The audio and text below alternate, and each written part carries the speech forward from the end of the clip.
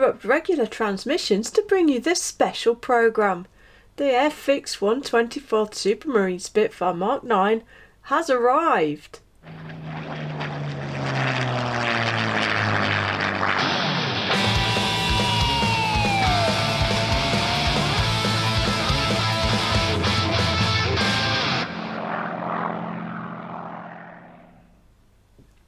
Everyone and welcome back to the Jenesis Designs and Modelcraft Bench. Today we have a very special brand new release for you. Arrived just today, direct from Airfix, from a pre-order. The new tool, Mark 9 Spitfire in 124th scale. And what a beauty it looks like it's going to be. So this will just be a quick look review. I think a quick snip would end up being two hours long. Uh, and I am going to do a build series on this, so you'll see it there. Uh, this is the box. It is, shows hands, not massive. It's surprisingly small for what it lies within. If you think back to the original Mark 1 Spitfire and the re-releases thereof, the box is hugely long, quite wide. The um, 124th Typhoon, again, it's got to be 30% bigger than this. It is reasonably large, obviously, and quite deep. Uh, on the sides, some pictures, some info. On this side, colour scheme info. Four flying hours. It's quite it's quite deep. And it is quite sturdy, so if we just quickly list the lid, because there's something a little bit different in here. I don't know if it's a real change of direction or what, but it's interesting. Get the lid off. Paper. So the wing the wing parts aren't in bags They've just got pieces of paper, quite nice paper actually, um, around them just to stop them chafing against each other. Underneath that piece you've got, got the uppers in there the fuselage is down below. But anyhow, I shall get my professional looking base out and we'll go through the sprues and see what we get inside this magnificently released from Airfix. Alright then, I will go through the sprues as they come out of the box. This is very much uh, a first look. I did have a very, very quick look before I went on camera, but not by any means a proper one. Um, and some of these parts will be a bit large to fit under the view of the camera, but uh, we'll deal with that. So here we go then. The first one out is the one-piece moulded lower wing part. As you can see, there are multiple apertures for things, a machine gun, um, fixtures, the radiators and the undercarriage and as a result of that is quite flexible. It is moulded with dihedral already. And we do have a little bit of sort of plastic texture on the surface, but also, I don't know, let's see if we can see it we do have some representation of the surface being rippled. And particularly with older aircraft like this that were very much, the wing skins were very much aluminium skins over a framework. Even when new and even when freshly rebuilt, they're quite rippled. And this surface depicts that quite well actually. I think it should look really nice when painted. Potentially quite hard to pick up with the camera, but it's there for sure. All of this rivet and fastener detail is recessed with the exception of the hinges on the on the inspection panels in the centre area here. Uh, and the wing fairings are, are raised up as well, which they should be. It's it's really nicely done. Indeed. Um, there is the typical standard slight texture to the surface that you get with Airfix kits and then on the inside some all the ejector pin marks where you're not going to see them but you can see we're going to have a spar here. I think too much to note there and that's sprue B so I'll put that to one side and the next one out is perhaps unsurprisingly the upper surfaces and aforementioned spar which is almost full span actually. Again these have cutouts so the machine gun installations, the cannon bay, and actually these little windows here which allow the flap linkages to move but also act as a visual indicator for the pilot that the flaps are deployed. And again potentially even less obvious but we've got that rippled effect throughout along with a bit of sink marks along the front edge of the ailerons which is quite common on Spitfire kits actually this surface is slightly more matte than the underside, so that texture is going to be even less easy to see. But it is there. Flip them over. We've got some flap false work detail here and the beginnings of some undercarriage bay. So that's the structural ribs that run across the top of the undercarriage bay there.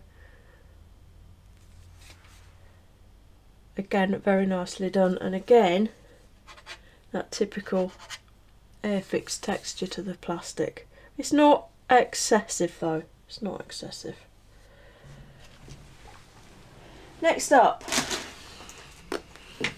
pair of fuselage halves. Well, the back end anyway. Uh, so straight away, Spitfire people are going to realise that there are options for differences here. Um, by separating this area under the tail, it gives Airfix the, the, the, the it makes it easier for Airfix to potentially release something like a Mark 16 version or a Mark 8 potentially with a sorry a Mark 8 with a retracting tail wheel. Cutting it off at the firewall again gives you options with with changing out the front end should you wish to. Again, note we've got some rippling and bulging of panels here and there and it isn't consistent across both halves of the fuselage either. I don't know whether this is based on scanning or photographs of a real one or if the designer's just decided where he wants to put them but the, the same panels aren't aren't rippled on each side that it's different from one side to the other again we've got that nice raised edge for the wing fairing there and a nice raised edge for the armour plate that covers the fuel tank area on the inside virtual full frame detail, well very basic but it's there um, and the beginnings of some of the detail for the cockpit area as well. Again, very competent indeed. The surface detail itself is really, it's quite, it's relatively fine. I think with larger parts like this you can kind of get away with big detail and it doesn't look stupid but they've not gone down that route. It is still quite fine which is nice. And there's things there that that often you don't see on kits, like the, the mountings for the aerials and the little datum marks and things like that. This here, this little lump at the front here. Some Spitfire kits do have it, but there's actually a, there's another one there and another one there. They're little datum plates which are on the real aircraft are, are brass and unpainted, and that's to help with rigging when you put the thing together. We have a tiny separate sprue, which is just the top cowling. Slight niggle. So this is one of my pet hates to be honest, so I'm bound to pick up on it. This depiction of quarter turn fasteners, camlock fasteners, Dzus fasteners to use a trade name, as raised circles, it, it just it irritates me beyond belief. Um, because it's just wrong, honestly. It's easy enough to fix. Um, but it's it's it annoys me. We do have a mould seam along the top of the Merlin bump too, but that will be very very easy. Just, just give it a little scrape and sand it out. Look at the transparencies later. And there we've got some bags, just traditional bags. Let's get that off.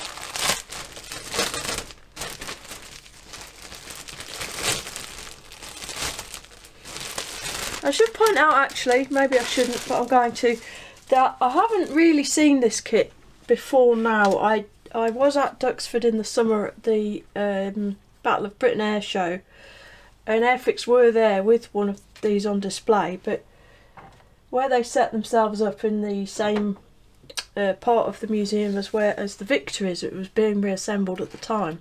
The lighting was really poor, and my eyesight is also quite poor. so I really couldn't get a good feel for what for for the parts from from that one quick viewing. So this is it's quite nice to finally be able to see it properly. So this one is Sprue F Foxtrot. Lots and lots of small parts. I can see pieces of wheel bay there. Um, cannon ammunitions. A lot of wing ribs. 50 cows and cannons mostly.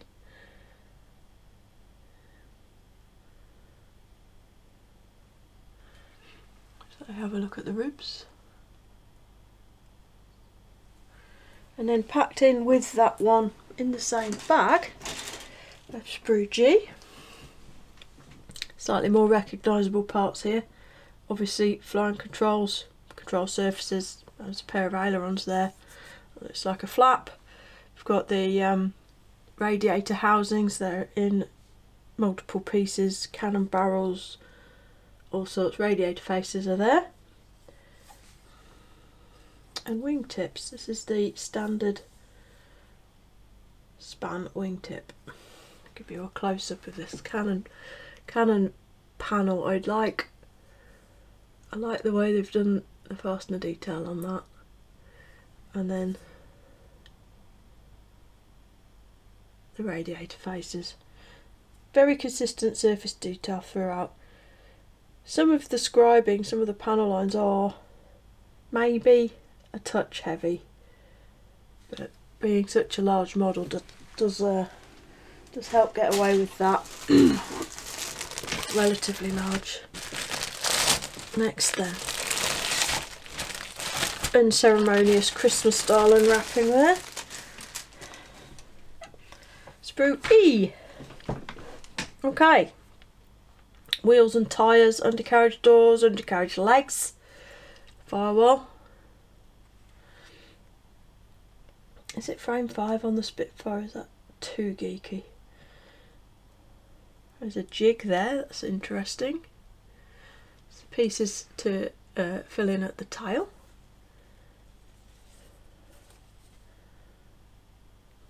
Again, it's all nicely done. Crisp and clean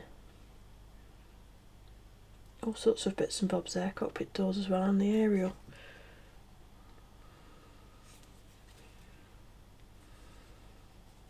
Assume we get a retracted undercarriage option because we've got an undercarriage leg there with no details on it.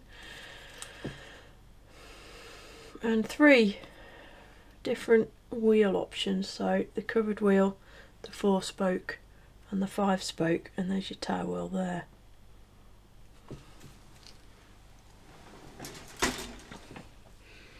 Moving on, Sprue Delta D. Um, I like these tabs. This is something I first saw in um, a guns, uh, sorry, a Gundam kit, Bandai, with the tab with the stenciled out letters. It's much easier to find the sprue you need in the box when they're done like that. Clearly, this is cockpit detail or internal detail. So that's the back of the firewall or the front of the cockpit if you like. Instrument panel, frames, sidewall detail.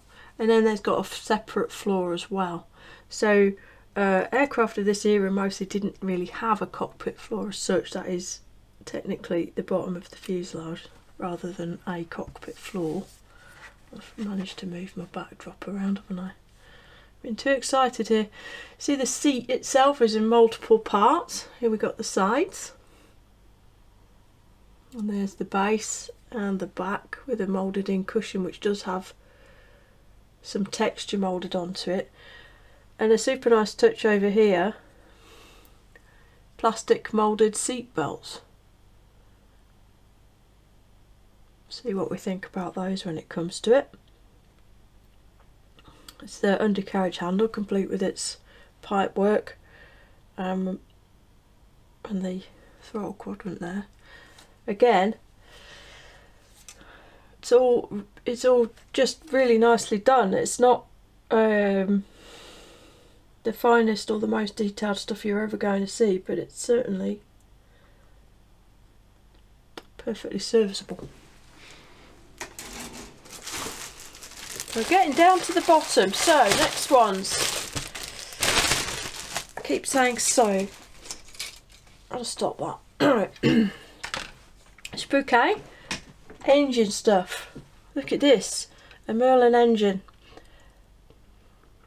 This does look lovely. Let's have some some more juicy close-ups. So cylinder banks there and the crankcases, rocker covers, the sump,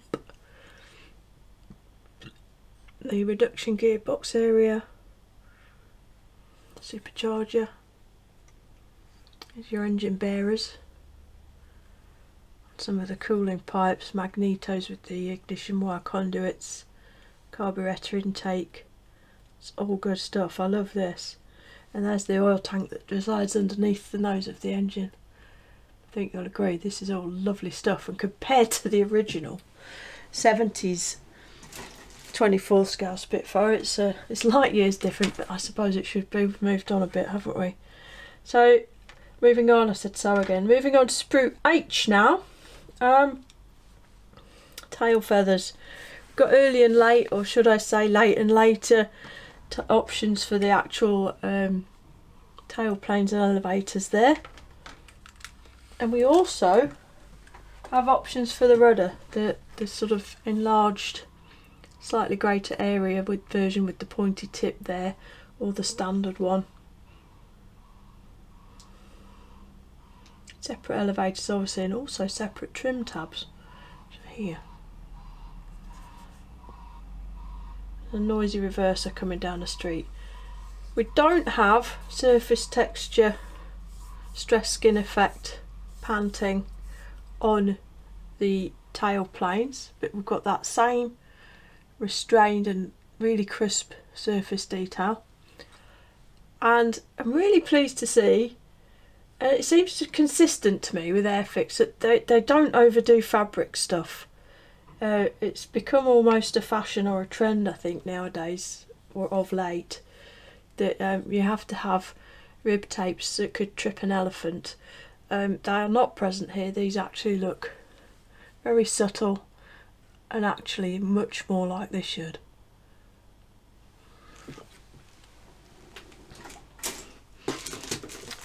And the last sprue, apart from the transparencies, here we go.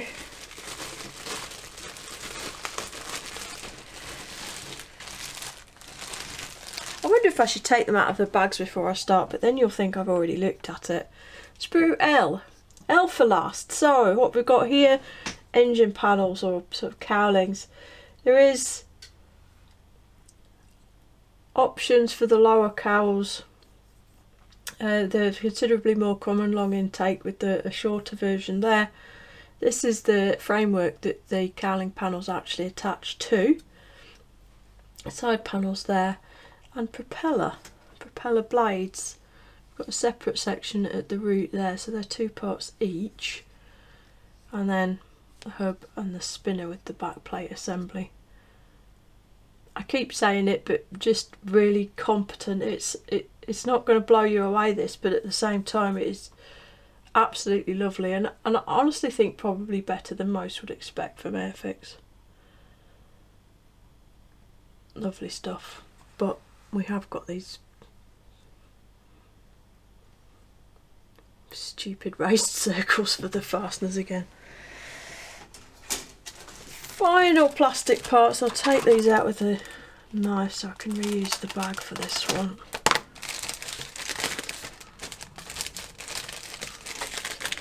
Transparencies.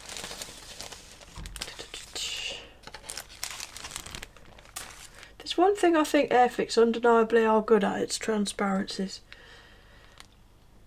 These are very slightly um, chafed, but not to any degree that's unrecoverable by any means. So we've got two different sliding portions of canopy there. I will assume it's an open one and a closed one going a little bit old school transparent instrument panels windscreen and, and the aft part there some landing light lenses short span wingtips moulded as one piece with in clear, so you've got the, the navigation lights that are integral to it. You've got the spare light bulb holder for the cockpit, gun sight parts, and various nav and ident lights, and here's a review mirror here as well. Across the board these are very very clear. There is a little bit of distortion in this one in particular, but very clear and very very shiny. The frames are raised from, well actually these are quite flush, which that's really nice. These frames are raised but not clunky. Yeah, really lovely. I'll give you a close up of the main windscreen. And then the canopy.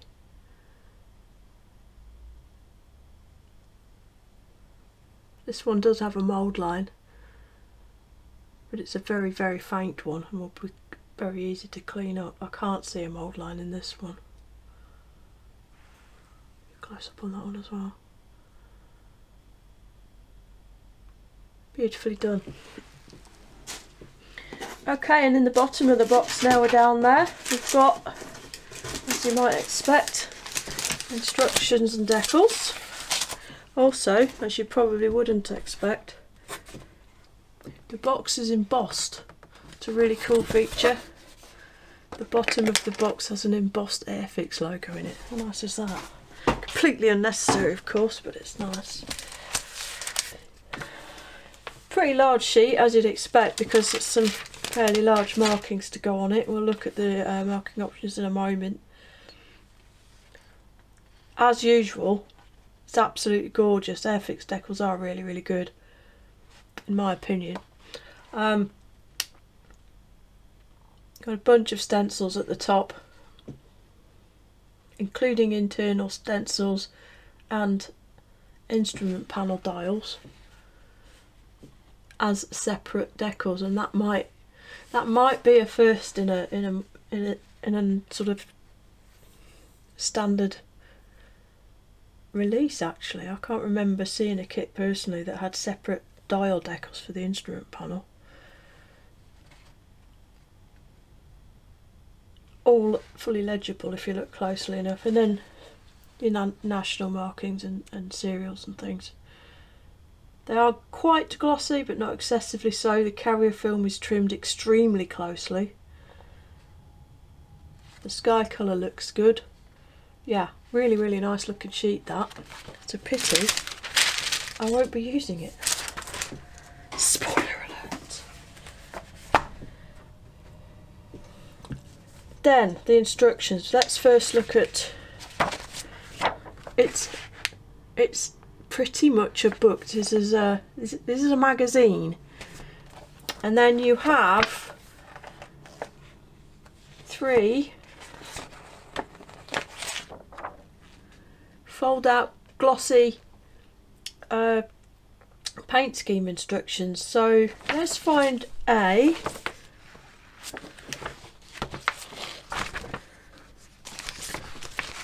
Go through them in order because we like order. Scheme A, Mark 9C, ML214, flown by squadron leader Johnny Plagis, who I believe was Greek with number 126 Squadron from Royal Air Force, Harrowbeer in Devon, England, July 1944, with options for June and December 1944. And as you can see, there are multiple scrap views here showing various little differences, and a super nice touch is measurements. So, invasion stripes were meant to be painted onto a standard, which was given out. Uh, so nominally they should be a certain size and the decal de designer has been thoughtful enough to let you know what size that translates to in scale. So the wing band's approximately 52 millimeters in total, 10.5 mil per stripe. The sky recognition band 19 millimeters, and even the yellow propeller tips 4.2. Humbrol colour callouts as you'd expect. Quite comprehensive and very nicely done. Scheme B, EN398, flown by Flight Lieutenant Ian Kelty, 402 Squadron, City of Winnipeg, Royal Air Force Kenley in Surrey, England, March 1943. Believe I'm right in saying that that's a Canadian squadron. Not sure. I'm shooting from the hip there. we don't. We've again got the measurements there where necessary, and this one's got Popeye on it on the front there. Scheme C, Charlie. Very, very famous aircraft. EN 398. Flown by James Edgar brackets Johnny Johnson, 402 Squadron, City of Winnipeg, Royal Air Force, Kenley, Surrey, England, summer 43. This is JEJ, good old JEJ, very bog standard day fighter scheme for the time, with a little green maple leaf on the nose. scheme D, which I do believe if I was going to use a kit scheme I probably would use this one. This is an aircraft flown by Captain Garth Jarrad, commanding officer of the 309th Fighter Squadron, 31st Fighter Group, US Army Air Force, Italy, December 43. Do like these. This one's called Eleanor. It's got a little duck, I think that is. Let me look at the sheet again. It's a sort of a Donald Duck nose art. A couple of mission markings, red spinners, nice. So this is an interesting one because you've got the opportunity for some fairly extensive weathering, overpainting of standard markings and all sorts of stuff.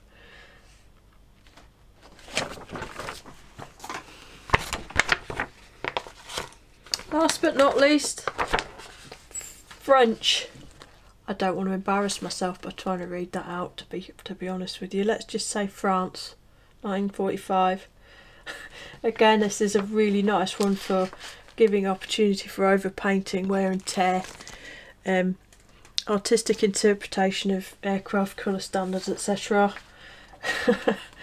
um, as this would have been, I presume, an ex-RAF aircraft that was handed down to the French. Um, but love the yellow markings on it, and it's called Curieux, and it's got some cat's eyes on the nose, which is quite cute. Then on the reverse of this, you have your stencil data placement. Very large, clear and easy to follow. Beautifully done, I have to say. So let's look at that flipping instruction book. It's literally a magazine you'd probably pay a fiver for in WH Smith's. Decent quality paper. Got a bit of history there with some specs of the real thing. Colour chart showing all the paint colours specified for the model by Airfix. They are of course Humbrol products, um, which I don't use, but hmm. that's uh, some info in different languages, assembly icons, all standard stuff. Then, a departure, position of cockpit decals. How nice is this? Separate dial decals. Decals for the uh, controls throughout the cockpit uh, and indeed the door. Beautiful, love that. And then construction itself, uh, and this follows the now, very well established Airfix way of doing things with the sort of shaded pictures and the coloured bits showing what you're working with at each stage. These injection moulded seat belts are nice. Um, I, ha I have come up against those before, or I should say I've seen them before. Uh, I think it was a fine fine molds used to sell them as an aftermarket accessory actually, but I don't know. Even in this scale, they might be a little bit heavy. We'll see. Just about see the whole thing there. So you're building it up off off this false floor.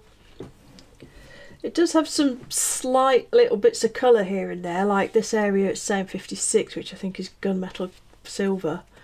Uh, the rear part of the fuselage inside should be aluminium painted on these. Um, so there's some slight indications of colour throughout, but the, the paint numbers are shown everywhere.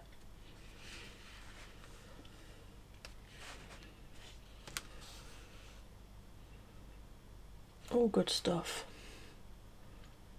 Once you get to a certain point add, adding the sidewall so it looks like it's going to build up to a sort of an assembly that will just slot into the fuselage when it's done. And I actually haven't looked through these so that is a guess. Um, yeah continuing with all of that. Very comprehensive colour call outs everywhere here I like that. Then we're getting on to the actual fuselage halves and adding these separate panels. As you can see there's just a small slot there for the fixed tail wheel but it would be very easy to provide different parts to have the retractable tail wheel. That jig we saw on the sprues is here for cutting if we want to, to fit the canopy in the closed position. So obviously the assumption is the vast majority of models want to have it in the open position. So you don't fix this to the model, simply put it in place, maybe tape it down and that shows you which part to cut out. Nice touch.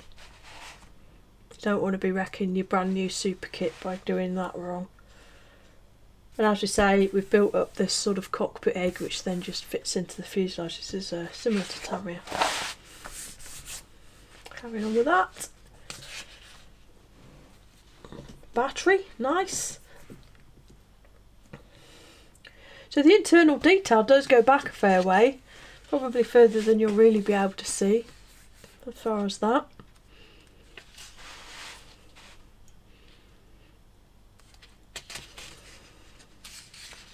But the fuel cap is a separate part which will sort of slip into position there. Saves you having to try and sort out a seam across some recessed detail you can't get to. We're building up all the tail feathers there. So once fitted the elevators will interlock. Can't quite see that far down. So if you have them drooped at all, they should droop the same amount. It's saying not to glue. These trim tabs do have little uh, pegs that sit into small recesses, so in theory they're movable, but they're very tiny pegs. They'll probably break pretty easily. Personally, I would glue them. It's not like trim tabs flip loosely in the breeze anyway, so. And we're on to sort of main wing construction. So there are a couple of sort of trailing edge spars here to go in where the flap, into the flap area. And then this main spar. Straight away you're putting uh, some undercarriage locations onto that and then we simply go along building up the wing almost a bit like a real one in reverse because we're starting from the skin and working inwards but stick the spar down and then there's a bunch of ribs to go on.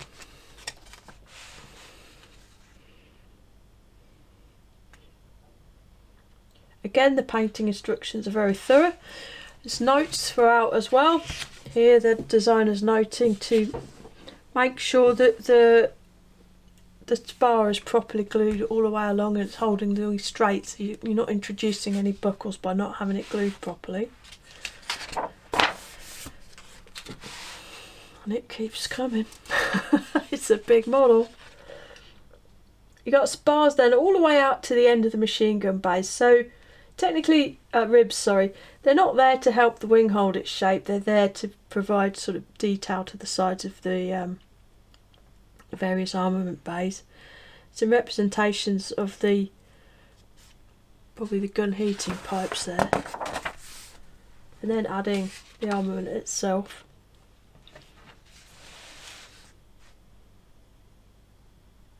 Be interested to see how well these panels fit. It'd be nice if you could build this detail in and do a nice job of it, but still have these panels remove it, removable or fittable.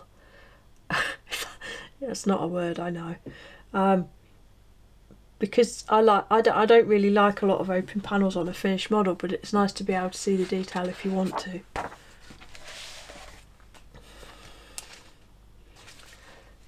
And we finally get to stage 97 of the instructions and we introduce the back half of the fuselage to the lower half of the wing.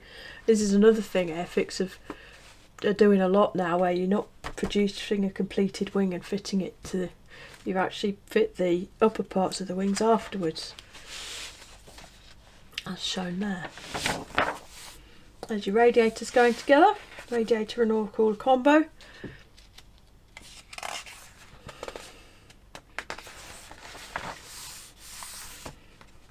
And then we move on to the engine. It does tell you there that if you do not wish to have the engine panels open, or if you wish to fit all of the engine panels, you don't have to build the whole engine. It should go without saying, but it tells you which steps to carry out if you only want to end up like this. I'm not sure if that means you can't fit the cowlings with the full engine, but then it you should be able to because it says there.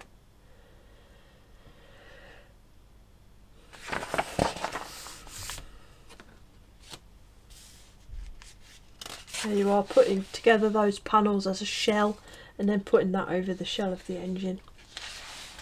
And here we are building the engine itself. Quite a lot of stages just to do that. Goodness. We've even got coolant pipework and stuff included.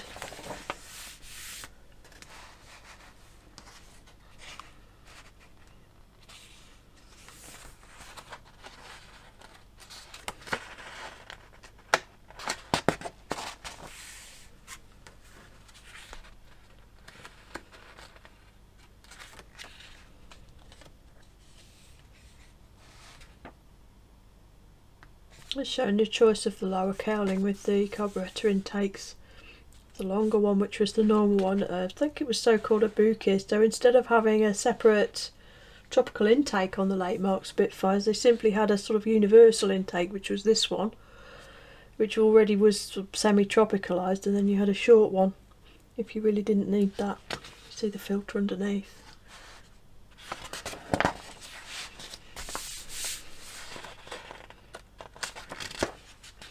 The exhaust stubs are made out of separate parts as well to provide a hollow end there and you fit them one by one.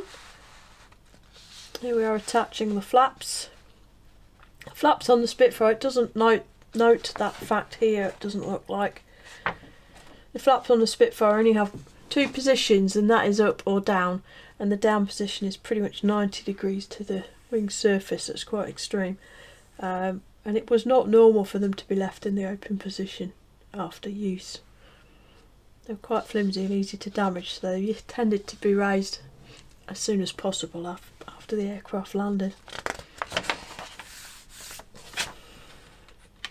We're fitting the rest of the control surfaces there and some cannons at the bottom.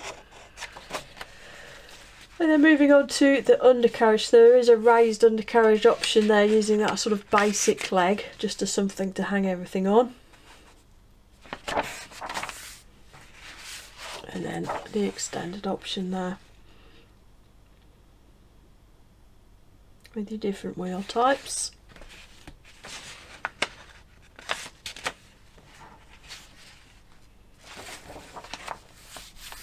What's that son? We fit the tail leg there, the tail wheel. And then we move back to the cockpit, cockpit area. We haven't actually fit the transparencies yet. Uh, so we pop the gun sight in there and we've got two both gun sight options the sort of early reflector gun sight and the later one there. Moving on to aerial and nav lights and then actually fitting the transparencies themselves. So yeah I was correct that is an open or closed canopy rather than a um, um okay I'm wrong I'm actually wrong I'm going to read the note note it is not possible to make the true bulge shape of the Spitfire canopy without having a seam line through the centre. It should be possible to polish out the seam line from X22, but if preferred we have included an alternative canopy which is less bulged but has no seam line. Well that's nice. So if you don't have the confidence to attack that seam line and polish it out, there's a slightly less bulged option to use instead. And then very back page we fit the propeller. So 244 steps later we have a completed model. Wow, what an instruction booklet that is, it's awesome. I think you'll agree. Now, as an addendum, there's that now again. At no extra charge, I'm going to give you this top tip here. If, uh, like me, you're a Spitfire enthusiast, I'm by no means an expert, don't claim to be, uh, but I have a, a, great passion for the aircraft, as many do. If you want to build a great Mark 9 model, you cannot get a better reference than this book here. So this, this is the Paul Monforton book, Spitfire, Mark 9 and 16 engineered, and it is fantastic. I won't go page by page. I don't even know, truthfully, if this book is still available, and if it is, it is not cheap at all. But this is the kind of stuff you get. Close-up pictures, engineering drawings, dimensions,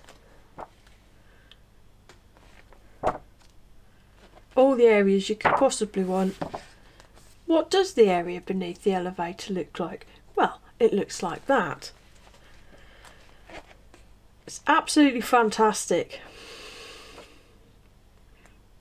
All of these drawings are scaled, by the way, and it does tell you what, this is one sixth scale.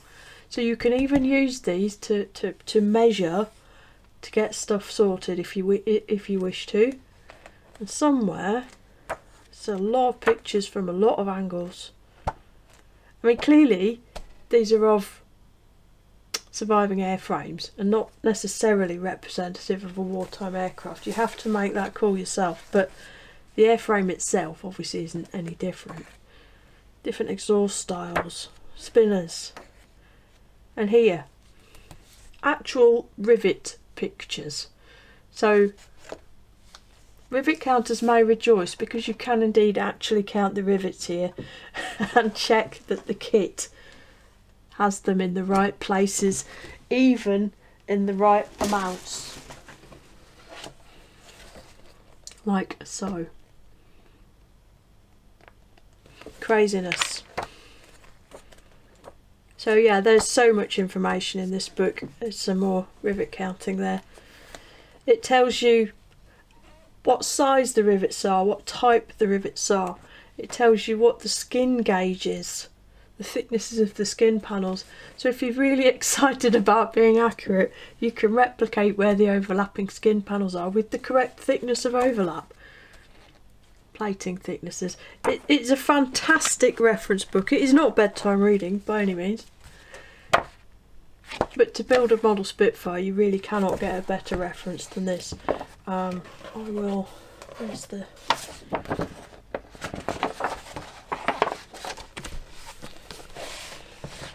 There's the info page with the ISBN number so if anyone's interested in trying to find a copy there's the information you need. one-stop shop pretty much for a Mark 9 anyway. And there we have it then, the Airfix 124th Mark 9 new tool super kit. Um, I for one was surprised when they announced this. Uh, they've already got a Spitfire. Um, you know, you I, you would think that maybe they'd have gone on to something new again like they did with the Typhoon. I'm not going to complain, clearly. Uh, I think it looks fabulous. Uh, from this first impressions. We'll see how it goes together very, very soon because I will be doing it on the channel. Um,